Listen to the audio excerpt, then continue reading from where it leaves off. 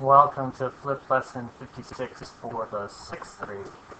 As you look at this lesson today, we're continuing looking at adding and subtracting fractions, which of course means that we need to find common denominators.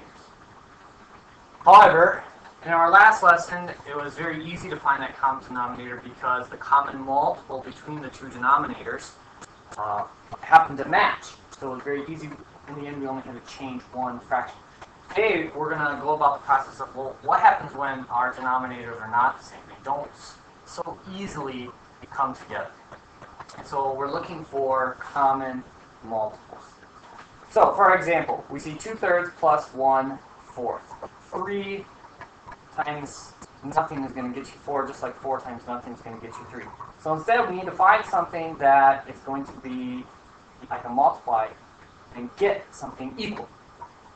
One of the easiest things to do is really just multiply the denominators against themselves, which is exactly what we're going to do today. So, or at least in this problem. So 3 times 4 is going to get me a denominator of 12. Right? So I'm going to get 8 over 12 over here. And on the other side, I'm going to do times 3. So now I have that common denominator of 12 and I also have two fractions that I can add together. You can see how that works. And so I can rewrite the problem, and in the end, common denominator stays the same, and I add to get 11 helps. So you see how that works. Let's try another one. Keeping here, remember we're subtracting in the end. Common denominator between 6 and 7 thinking hard, thinking hard, nothing's popping up, okay, then just do 6 times 7, right? So on this side, we're going to go 7 times 6, right? It's going to give us 42 and a 35.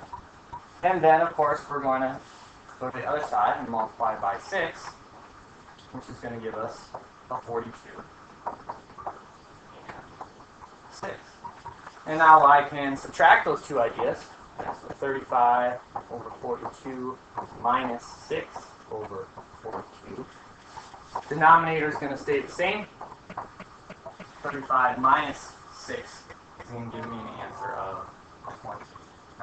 I'm going to look to see if that fraction is reducible. In this case, it is not. And so we have this fraction. As you work with these fractions, sometimes you're going to see relationships pop up sooner, right? And it's not necessarily going to be multiplying right by each other. I'm going to let you play around with these examples and see how you do with them. And we'll continue talking about this process of adding and subtracting fractions. this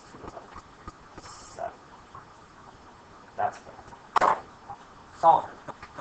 Alright, that is lesson